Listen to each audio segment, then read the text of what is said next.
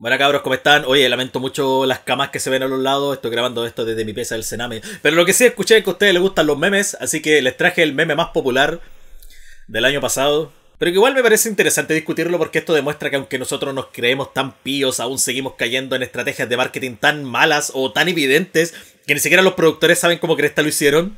Les voy a hablar sobre la película Papá YouTuber, que dudo mucho que nadie haya escuchado antes, pero para los que no y que ya están frunciendo el ceño pensando cómo, cuándo y por qué, les daré un breve resumen de qué fue lo que pasó. Papá YouTuber es una película peruana producida por Funny Games Films, y les deseo suerte buscando la productora en Google porque no solo hay una película llamada Funny Games que también tuvo un remake, sino que aparte, obvio que Google lo último que me va a mostrar con los términos Funny Games es una productora latina. Durante el 2019 apenas se anunció que existía una película latina con la palabra YouTuber ya los memes empezaron a flotar como la nata con páginas de memes riéndose de la película y compartiendo el tráiler en modo de chiste. Incluso al buscar el tráiler en YouTube no se encuentran videos con muchas visitas y los pocos comentarios es puro leambello sin darle una segunda vuelta a lo que se está viendo. Por supuesto que el meme duró hasta que salió otra película mucho más nefasta al oído popular y nos preocupamos de reírnos de eso. Por cierto, le hice una reseña también a esto y YouTube me lo bajó, así que la pueden ver ahí en la descripción.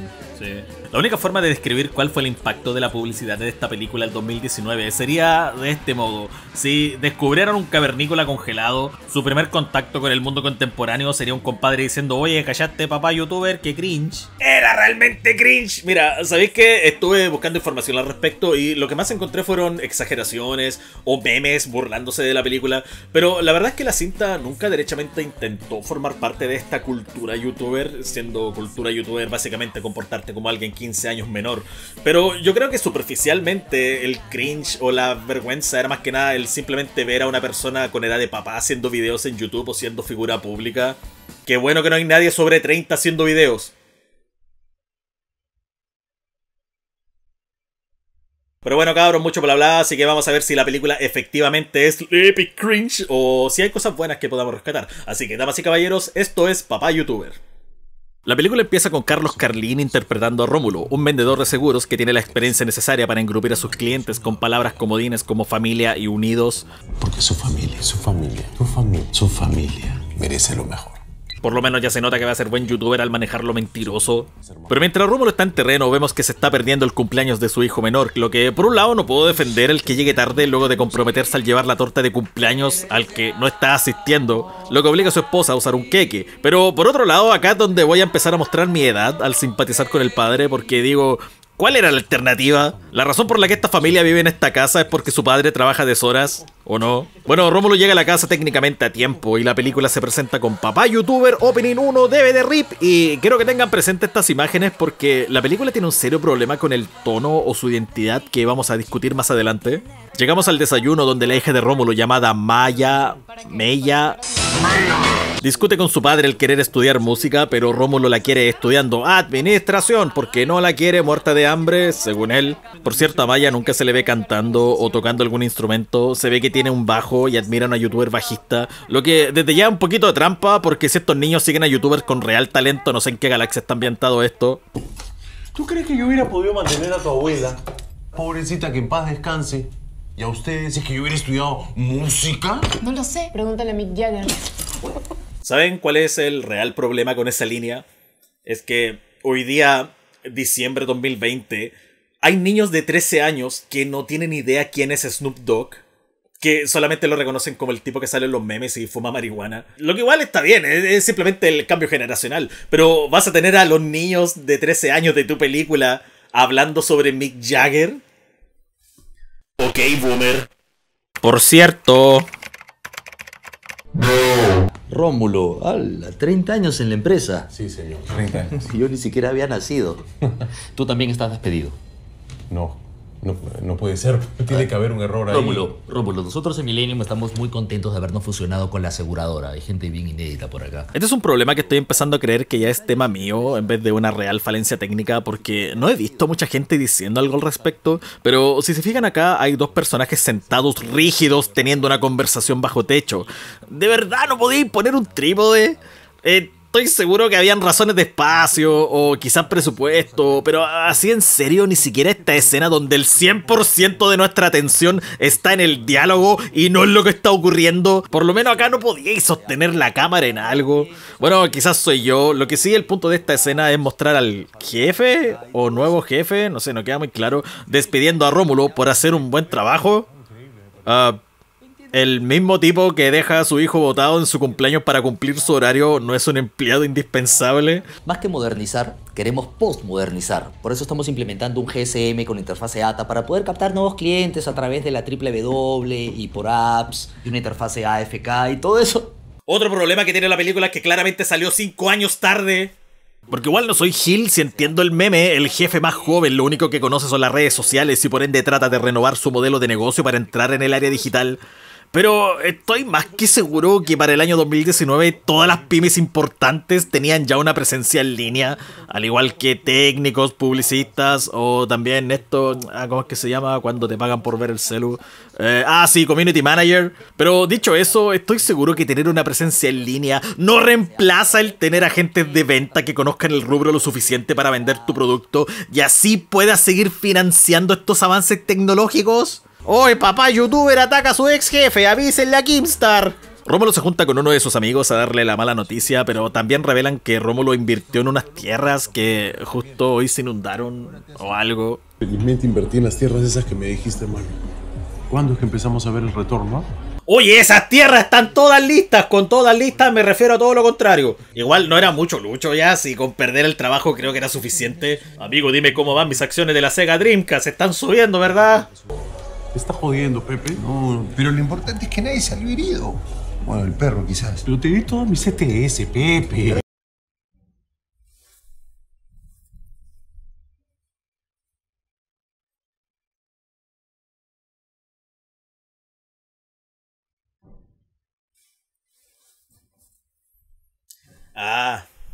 Para seguir dando la cacha, la esposa de Rómulo le confiesa que buena noticia, marido desempleado, vamos a ser padres. Así que Rómulo perdió su pega, perdió sus ahorros y ahora debe financiar la crianza de su nuevo hijo con plata que no tiene. Se le empiezan a acabar las opciones a Rómulo para dejar claro que no tiene más posibilidades, al menos inmediatas, en el mundo laboral. Pero me detengo acá porque igual hay una talla buena. Te despidieron a ti también. ¿En qué café? ¿Cómo estás?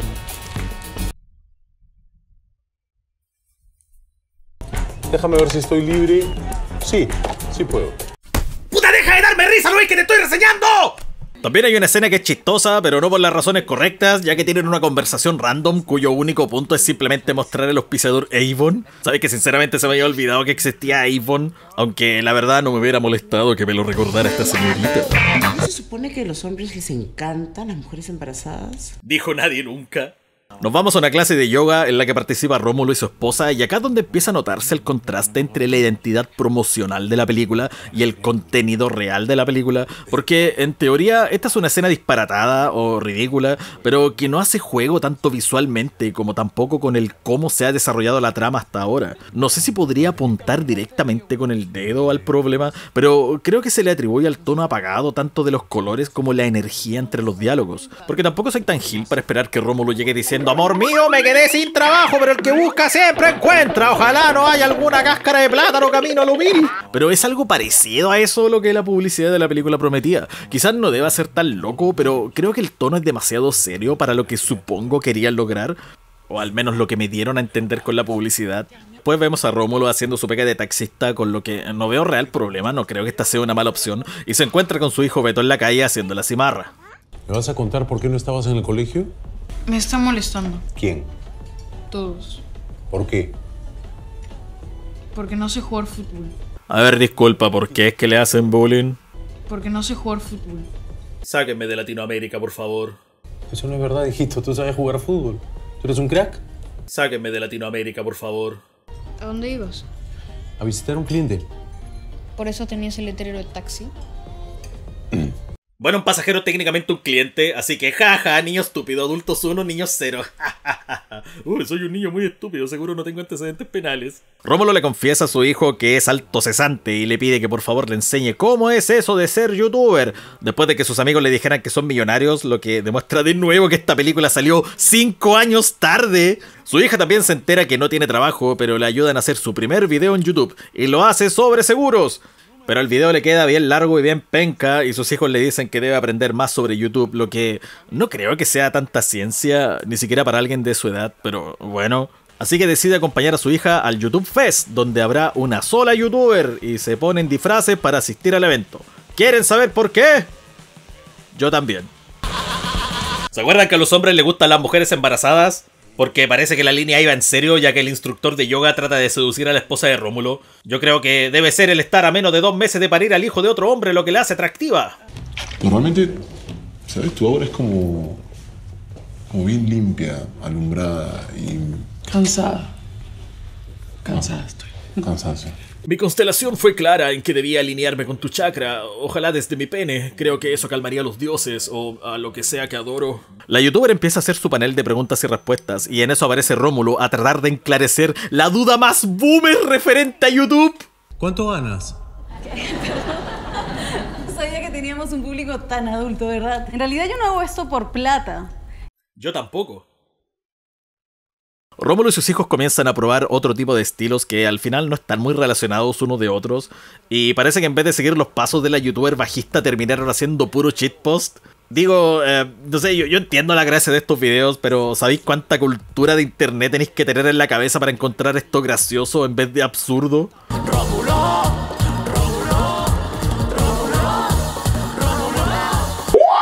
Everybody, it's your boy Papa Franco back at it again. Disculpe, mi esposo ya debe estar por llegar. Tranquila, no te preocupes, todavía tenemos tiempo.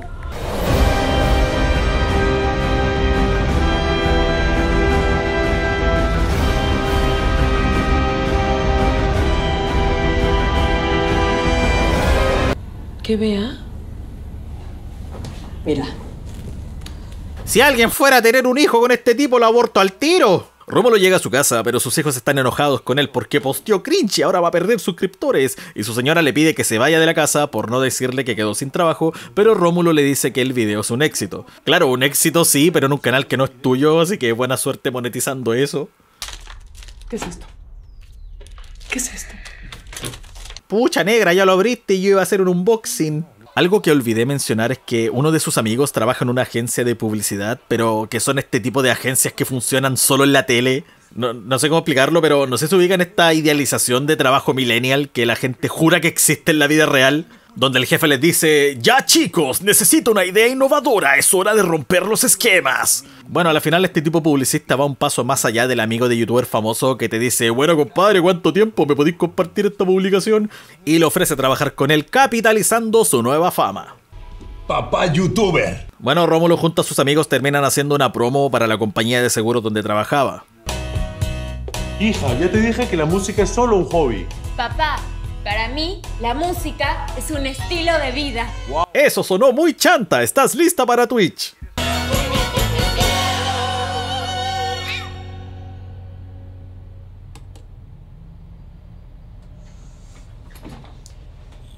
Puedo opinar yo también, por supuesto que puedo, este es mi video y hago lo que quiero. Primero, el video está asquerosamente largo. Si piensan hacer un ad, te aseguro que nadie te va a regalar más de 5 segundos para que lo convenzas de comprar algo. Segundo, ¿acaso no saben todavía cómo se edita en YouTube?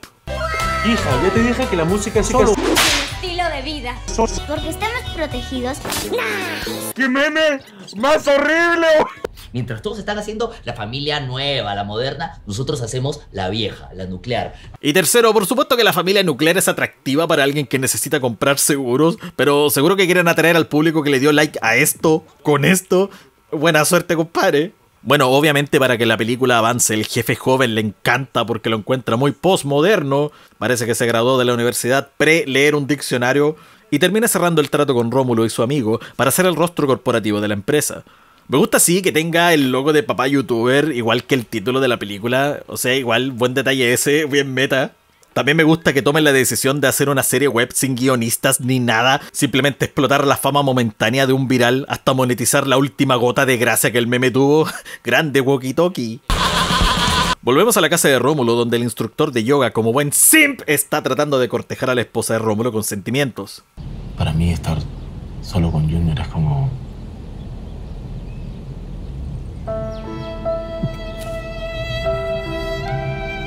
Lo realmente gracioso es que esta subtrama no llega a ninguna parte. En ningún momento la esposa de Rómulo siquiera alude a la posibilidad de tener algo con él. Y el tema se resuelve al momento que Rómulo se entera y a golpes lo manda de vuelta a Twitter. La familia sigue molesta con Rómulo porque ahora se hizo de una familia de mentira para su nuevo proyecto del cual como buen youtuber tiene muy poco control y simplemente sigue direcciones de la marca que lo auspicia. La escena en todo caso termina humanizando bien la situación ya que efectivamente Rómulo solo se acercó a las aficiones de sus hijos cuando necesitaba volverse youtuber, lo que abre un espacio para la redención del personaje. El problema es que es demasiado serio para el tipo de comedia que asumo están tratando de producir. Bueno, al final a Rómulo lo echan de su casa, de nuevo, que este tipo no necesita maleta o algo, y su amigo publicista le hace una broma. Te quiero mucho. Yo también. Sé que suena como que me salté 40 minutos de película, pero la única razón por la que su amigo se hace el muerto es para que estos dos personajes estén en una misma escena. No me quejo, solo me confundo. Otro punto a favor que tiene la película, que en mi opinión personal no se siente muy orgánico al no darle el tiempo que considero que sea suficiente, pero la película sí hace técnicamente el intento por humanizar también a los amigos de Rómulo. Por ejemplo, Pepe, su amigo publicista, le habla de cómo se siente solo, su otro amigo de lo mucho que se esfuerza en cuidar a su familia, pero esta humanización solo ocurre en una conversación específica y claro, es lógico por la duración de una película, pero toda esa subtrama del profe de yoga queriendo comerse a la esposa de Rómulo que no llegó a nada, quizás se hubiera omitido para darle espacio a estos personajes que probablemente tendrían un mayor peso en la trama, aparte de simples transiciones. El punto de la escena es que Rómulo escucha una palabra en específico que le recuerda que, oye, de verdad, yo tengo una familia y todo con la que podría disculparme y posteriormente explicar la situación. Lo que creo que es el mayor problema de la trama de la película, que Rómulo nunca se disculpa correctamente con su familia y simplemente acepta su suerte. Así que Rómulo en el estreno de su nueva webserie de papá youtuber sabotea el primer capítulo y le explica a la gente que esta familia es fake news y hace este montaje con música triste y fotos de su verdadera familia.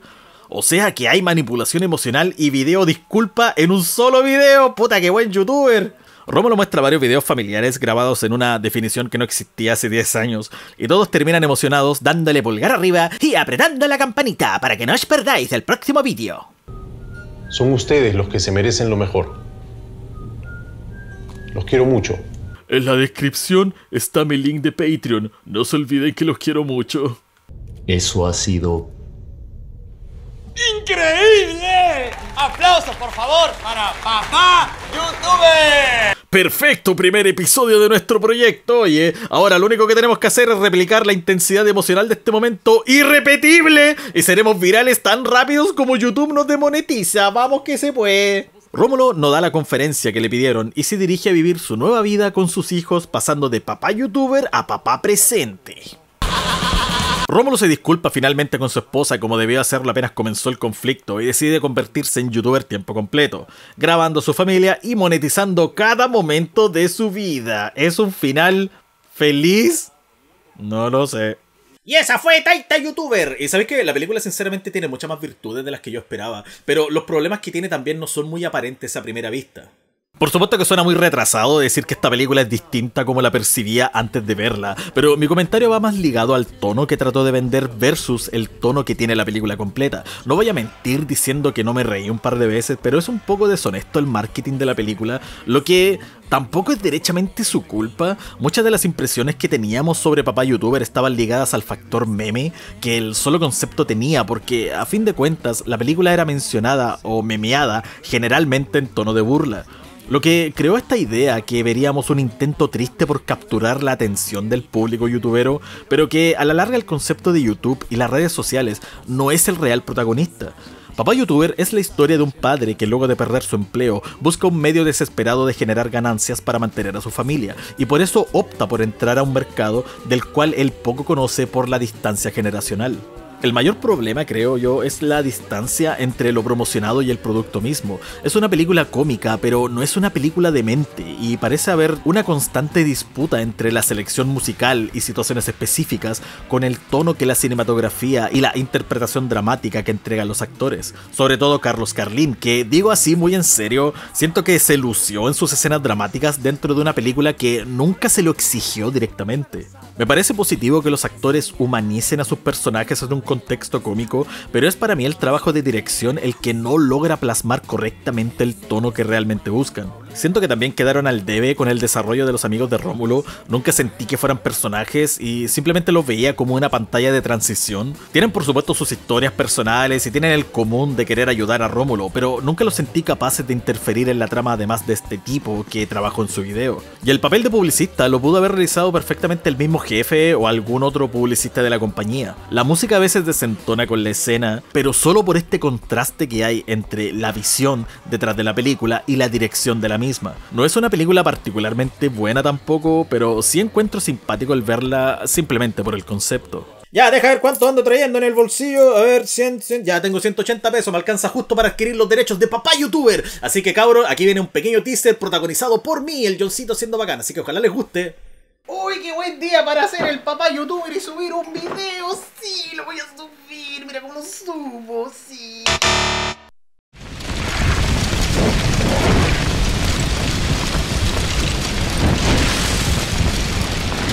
Amigos, si la vida te da limón...